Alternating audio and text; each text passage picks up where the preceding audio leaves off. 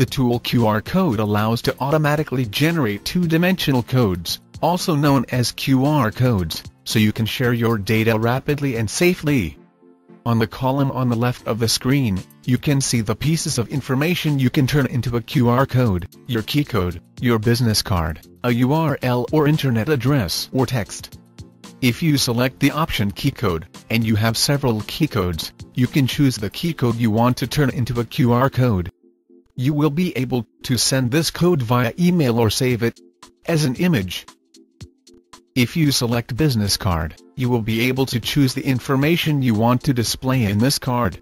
You can enlarge the image, send the QR code via email, save it as a V-card or electronic business card, or save it as an image.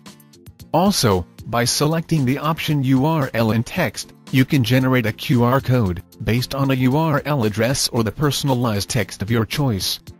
You will be able to send this code via email or save it as an image. To learn more about QR codes, click on the link.